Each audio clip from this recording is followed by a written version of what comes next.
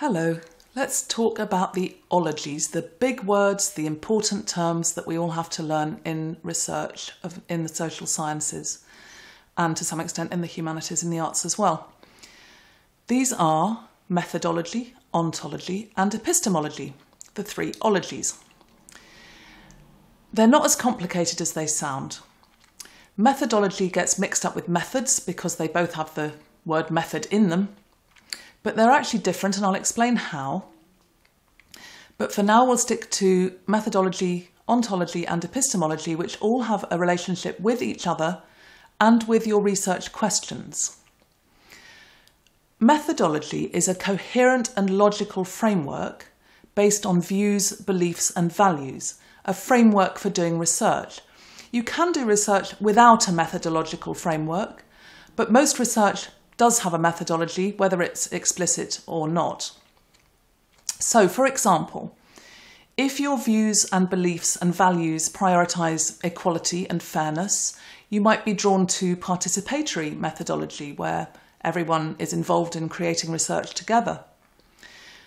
On the other hand, if your views and beliefs and values prioritise facts and truth, you may be more attracted to post positivist methodology, particularly if you're inclined to see truth as a single rather than a multiple phenomenon. But then context is also relevant. For example, say you wanted to research people's experiences at the end of life. Because it's about experience, post positivist methodology wouldn't be helpful because that's really about counting and measuring and so on. But participatory methodology also probably wouldn't be appropriate because when people are approaching the end of life, they're probably not going to want to be involved in research projects as full participants. They might be willing to take part in an interview um, or a survey or make a short video or whatever. Um, but they're not likely to want to spend a lot of time on research because they don't have a lot of time left. So, if you wanted to research people's experiences at the towards the end of life, even if you were drawn to participatory methodology, you'd need to have a bit of a rethink. All methodologies are aligned with positions of ontology and epistemology, so let me explain those other two ologies. Your ontology is your worldview, really. Um, this can change, but it changes slowly over time.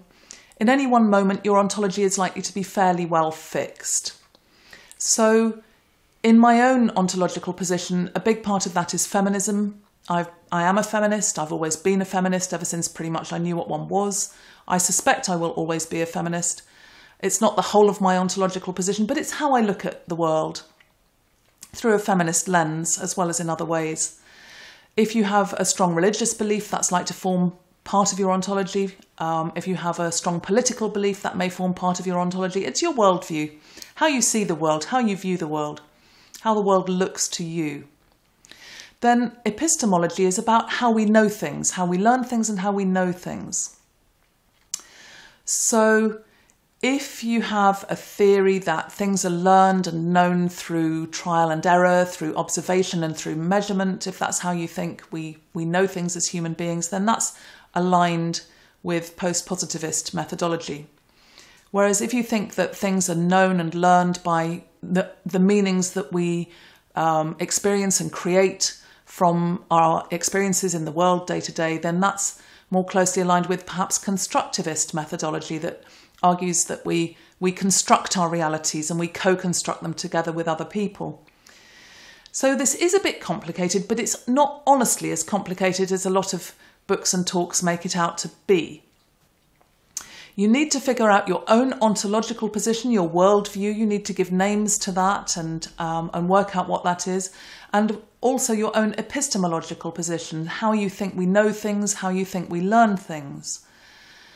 And once you figure those out, that will make your research work easier because your ontological and epistemological positions will inevitably influence the way that you do research and the way that you interact with other people in your research work. So some people start with a methodology. Some people always, for example, want to do research in a participatory way or a post-positivist way. Some people start with a research question and are more flexible about the methodology that they will use. But either way, those two come first in whichever order.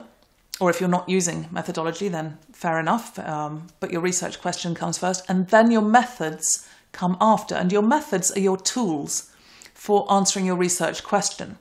So, methods are things like document research, interviews, um, desk research, academic literature reviews, surveys, all of those things are methods. And really, if you think about it, you can use most methods you can use within pretty much any methodology, within pretty much any ontological and epistemological position.